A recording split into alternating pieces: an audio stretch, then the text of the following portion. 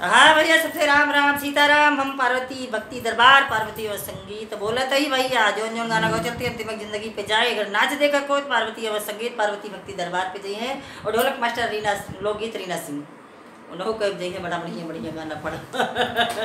अपन आशीर्वाद दे धमाका कर रही धमाका।